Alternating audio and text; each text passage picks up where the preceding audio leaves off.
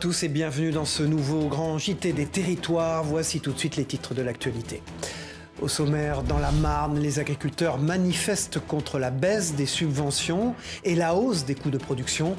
Des actions fortes ont secoué Chalon en Champagne avec des gestes symboliques devant la préfecture. Plus d'informations dans ce journal avec Puissance TV. Nous irons également en Gironde où un exosquelette innovant est testé pour aider les agents municipaux et réduire les risques d'accident.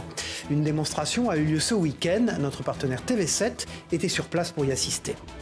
Et puis en pleine campagne d'Octobre Rose, un tatouage révolutionnaire redonne confiance et espoir aux femmes touchées par le cancer. Notre partenaire Télé Grenoble a rencontré une experte capable de reproduire l'aréole mammaire avec, vous verrez, un réalisme saisissant. Et puis enfin dans ce journal, c'est un jeune Quimpérois de 14 ans qui représentera la France au concours de l'Eurovision Junior cette année. Vous découvrirez son portrait ainsi que son talent dans un reportage de notre partenaire TBO en Bretagne. Je vous en parlais dans les titres. Dans la Marne, les agriculteurs ont de nouveau investi les rues de Chalon en Champagne. Leur objectif, dénoncer la baisse des subventions et l'augmentation des coûts de production, notamment liés à l'énergie. Un mouvement fort marqué par des actions symboliques comme le versement de terre devant la préfecture. Notre partenaire Puissance TV était sur place. Regardez. Le soleil n'est pas encore levé, mais sa colère à lui est bien réveillée. Cette journée, il la consacre à une nouvelle mobilisation, direction Chalon en Champagne. Comme beaucoup de ses collègues, Stéphane accuse le coup. Depuis des années, tout augmente, le carburant, les coûts de production, et la suppression progressive des avantages fiscaux sur le gasoil non routier pèse lourdement sur son budget.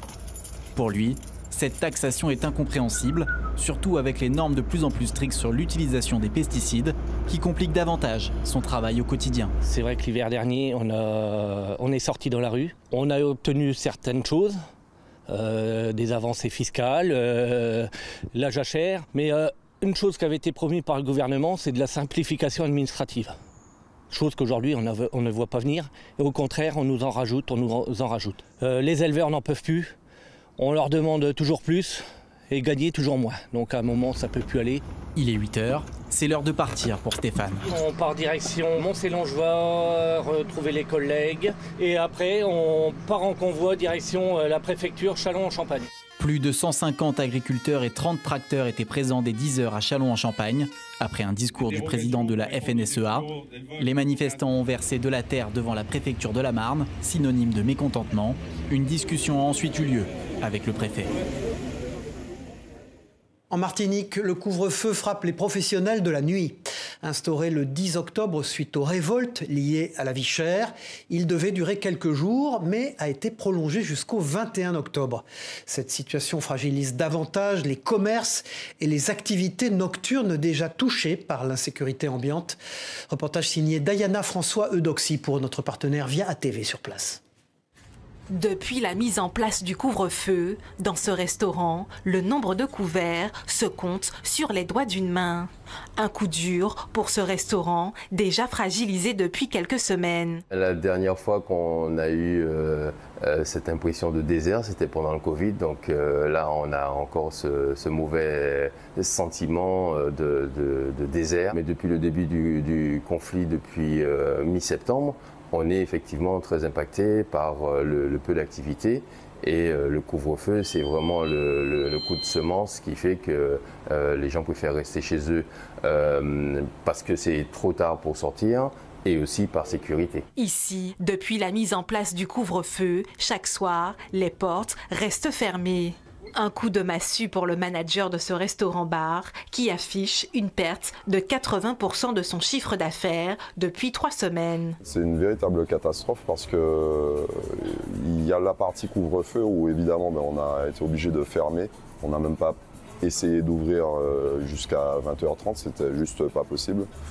Euh, mais c'est bien en, amont aussi où euh, on a vraiment perdu 80% du chiffre d'affaires. Euh, juste parce qu'il y avait des, euh, exactions, euh, des, barrages sur Sainte-Thérèse, ou en tout cas dans la périphérie de, Fort-de-France. Dans ce restaurant festif, cet événement ont dû être annulés. Cette nouvelle structure craint de ne pas pouvoir atteindre ses objectifs d'ici la fin de l'année. On avait un mariage samedi et on avait un anniversaire de DJ Killers qui était chez nous dimanche, que pareil, ça a été annulé. Bon, après, c'est normal, je veux dire, par rapport au contexte, mais ça, ça, nous met un petit peu dans des difficultés très importantes par rapport à notre objectif de fin d'année avec euh, un restaurant ouvert, ça fait à peine un an. Restaurateurs, professionnels de la nuit et organisateurs de soirées espèrent un retour rapide à la normale. Ils espèrent également que les événements récents n'auront pas d'impact sur la haute saison touristique à venir. Les héros du passé sont aujourd'hui honorés. Les GI sont de retour à Bruyères dans les Vosges pour célébrer les 80 ans de la libération.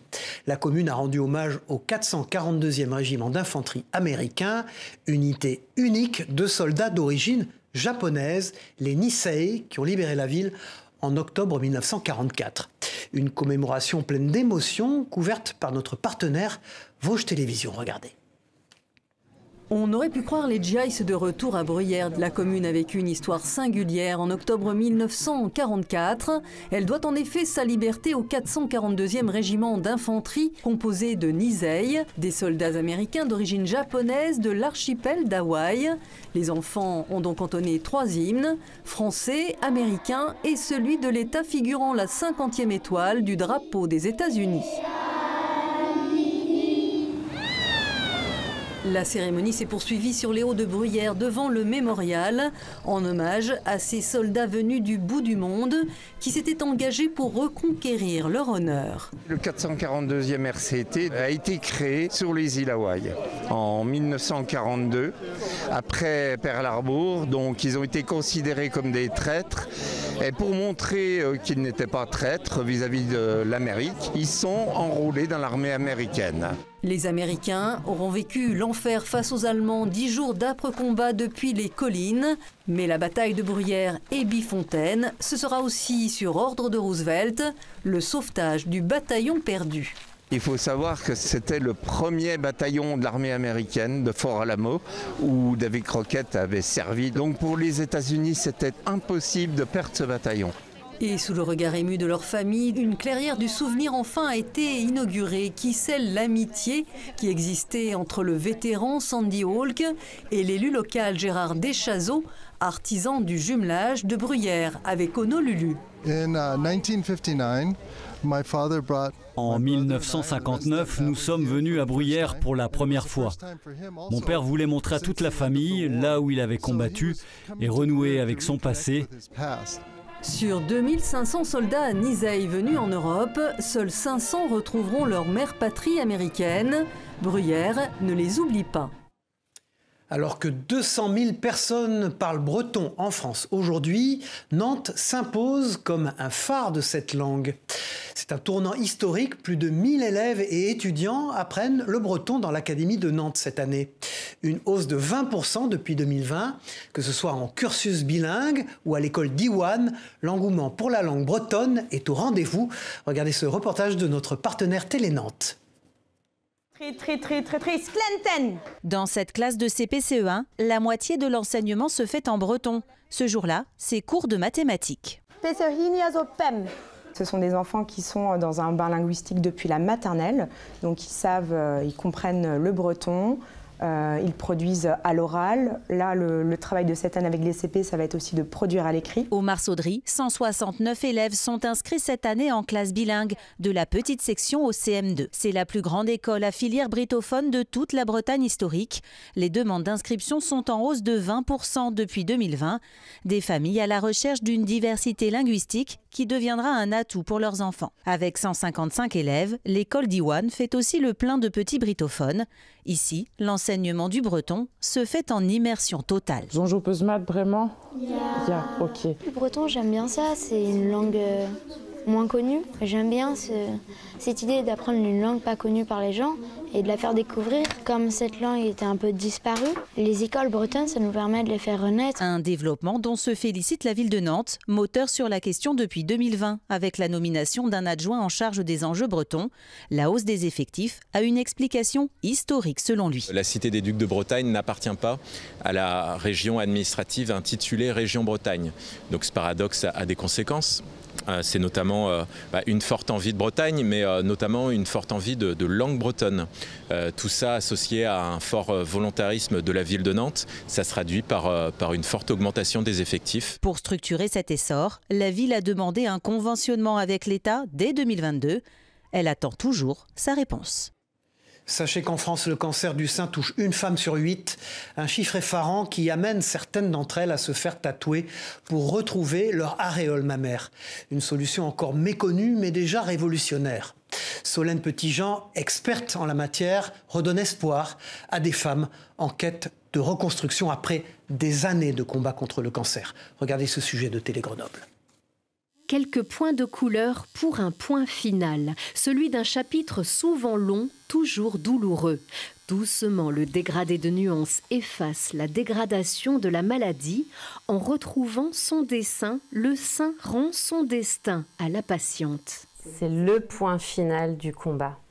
Et c'est aussi euh, crucial pour euh, retrouver confiance en soi et se reconstruire de manière véritablement complète. Se reconstruire, se réparer avec le tatouage. La dermopigmentation corrective reste une technique peu connue. Un travail minutieux pour lequel Solène s'est formée pendant deux années aux côtés d'une amie spécialiste. Elle m'a formée au dessin, à la colorimétrie, au jeu d'ombre. On travaille beaucoup avec un mélange des encres et on va travailler les ombrages, les reliefs pour donner un effet 3D.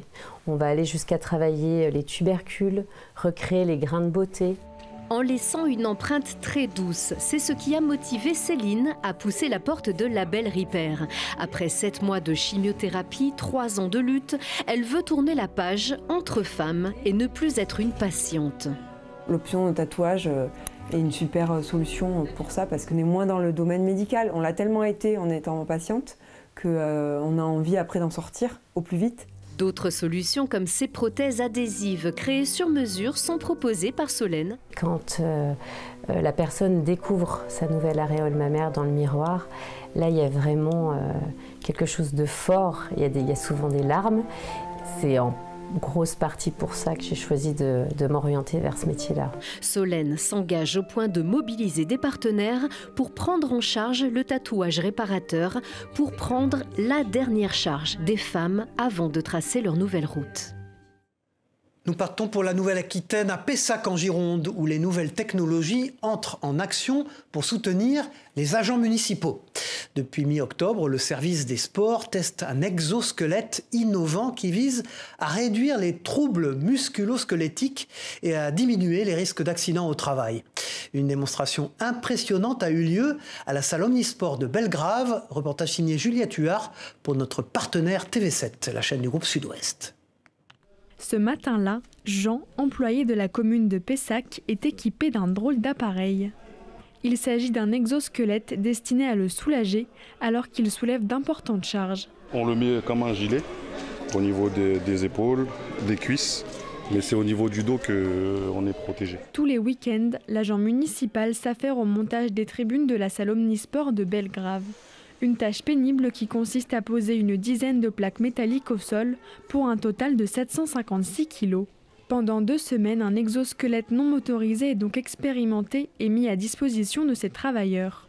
L'exosquelette, en fait, il est fait pour justement, euh, au niveau du poids, quand on porte les plaques, pour pas trop se blesser justement, pour pas que la charge, on la sente trop. En réduisant le risque de blessure, cet outil futuriste lourd de 2 kg contribue à une meilleure qualité de vie au travail une priorité pour la ville de Pessac. L'idée est venue de pouvoir euh, permettre, dans le cadre d'un projet justement sur la qualité de vie au travail, de réduire à la fois, euh, d'avoir comme ambition de réduire les accidents du travail, mais également de pouvoir euh, éviter et soulager et prévenir les troubles musculo-squelettiques chez nos agents. Après la phase de test, l'idée est de faire adhérer les agents municipaux à ces nouveaux appareils. Nous allons continuer à analyser, à voir avec les agents qui sont, euh, qui sont volontaires comment on peut améliorer, comment on peut aussi euh, euh, faire en sorte qu'ils soient vraiment bien adaptés et complètement adoptés et apprivoisés par nos agents pour que ceux-ci, à la limite, ne puissent plus s'en passer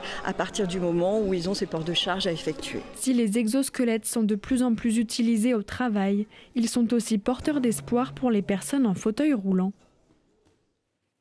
Et puis plus au sud, le Tour de Corse bat son plein avec près de 400 inscrits et la participation notable de pilotes célèbres comme le néerlandais Jos Verstappen. L'édition 2024 va prendre donc une envergure mondiale car cette fois-ci l'événement est nominé aux International Historic Motoring Awards, une cérémonie londonienne qui récompense les organisations marquantes de l'année dans le monde des voitures de collection. Sur place, l'émotion était pourtant palpable car l'année dernière un accident dramatique avait endeuillé cette course. On écoute tout de suite Jos Verstappen au micro de notre partenaire télépaisé.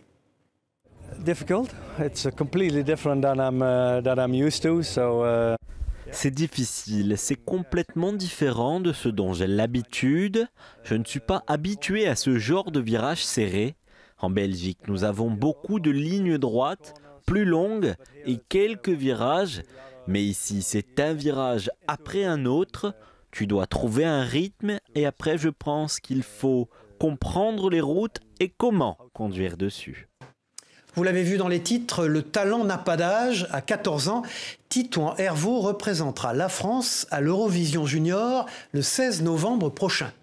Il a présenté sa chanson Comme si, comme ça, dans sa ville natale de Quimper, devant un public enflammé composé de ses camarades et de ses amis. Retour sur cette prestation avec Enora Lenôtre pour notre partenaire TBO en Bretagne.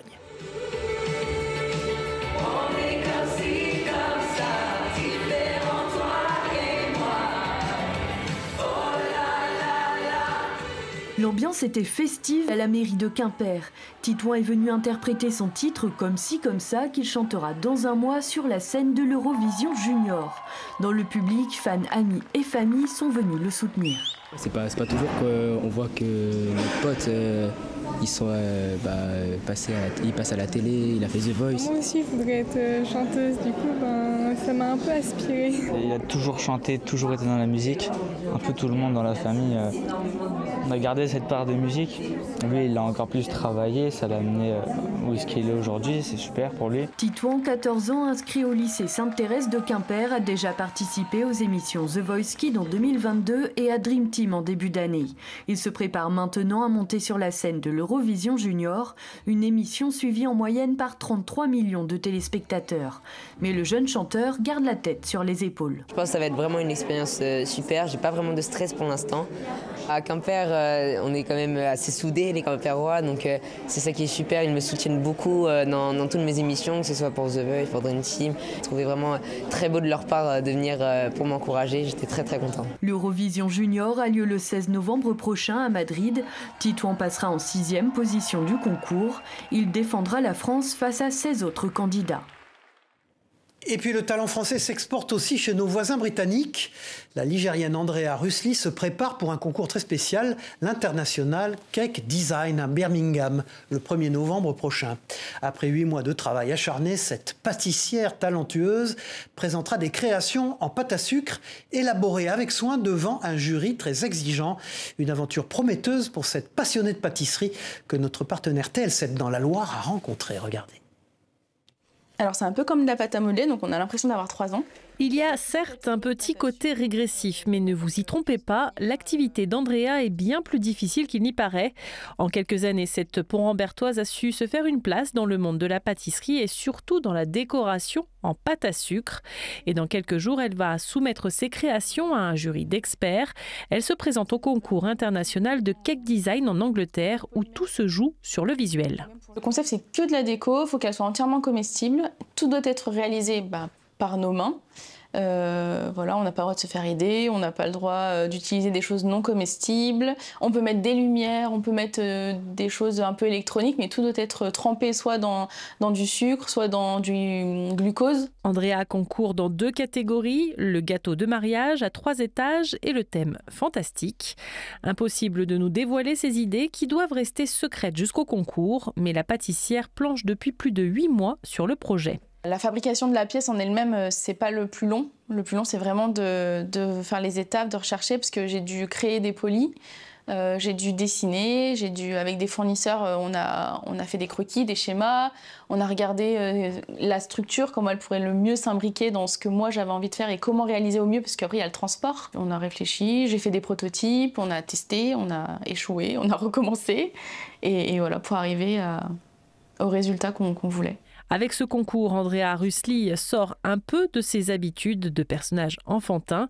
Elle compte bien rendre des créations spectaculaires. Il lui reste encore quelques jours de préparation avant de prendre la route avec ses créations direction Birmingham et peut-être remporter un prix.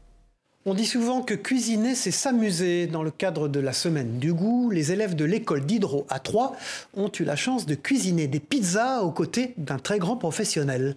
Le temps d'une matinée, une pizzeria a ouvert ses portes à 23 enfants de la grande section de maternelle, leur offrant une immersion dans toutes les étapes de la préparation de la pâte à la cuisson finale. Notre partenaire Canal 32 était sur place.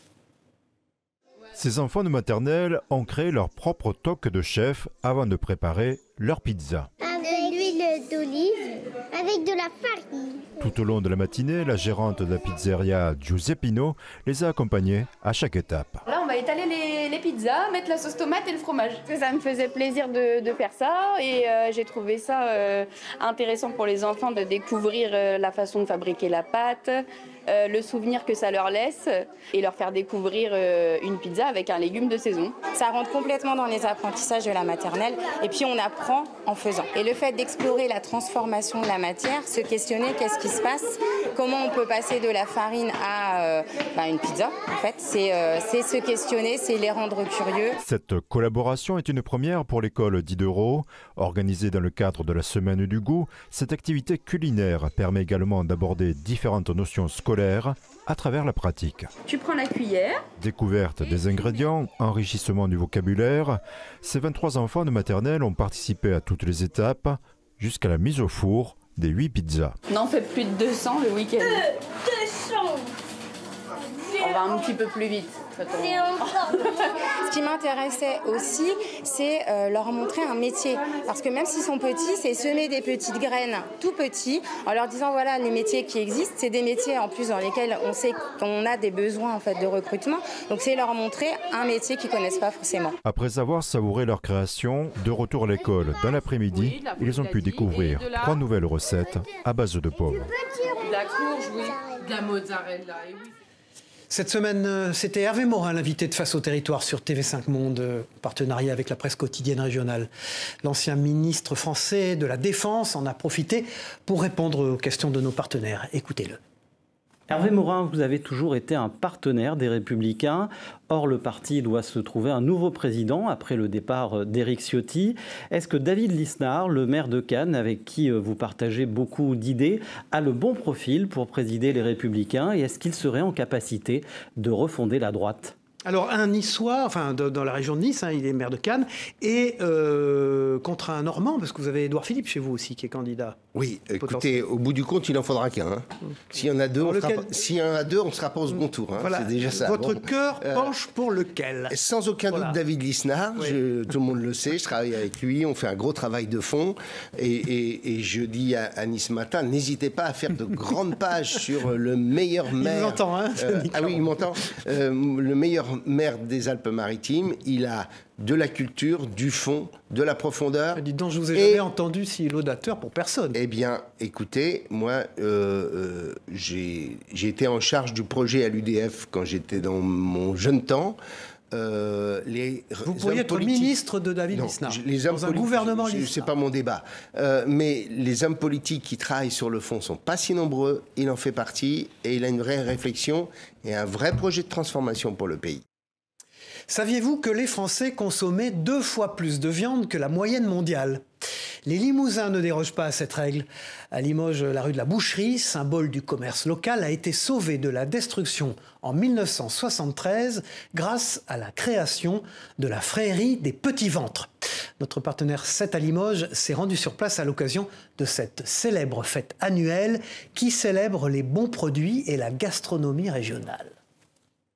Aujourd'hui, la 50e édition se conforme à l'usage. C'est la gastronomie des bons vivants du Limousin avec quelques règles pour sauvegarder la tradition. On se bagarre pour maintenir justement, pour éviter qu'on nous apporte des, merguez, euh, les burgers limousins, on fait enlever tout ça, on essaie, on fait passer le message la sincérité de chacun qui fait fabriquer à des petits artisans. C'est d'une fraîcheur exceptionnelle.